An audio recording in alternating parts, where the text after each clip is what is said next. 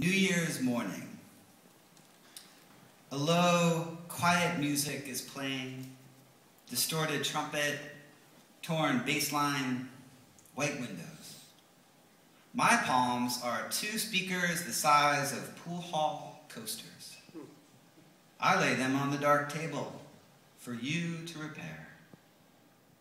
This poem is from Curses and Wishes by your friend of mine, Mr. Carl Adamshick.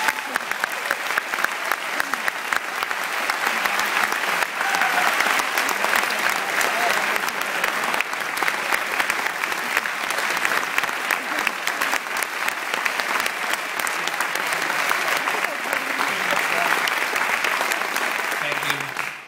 Thanks. Uh, Timothy, I think you're right. I think at least here, um, what we should all remember is books are alive and well.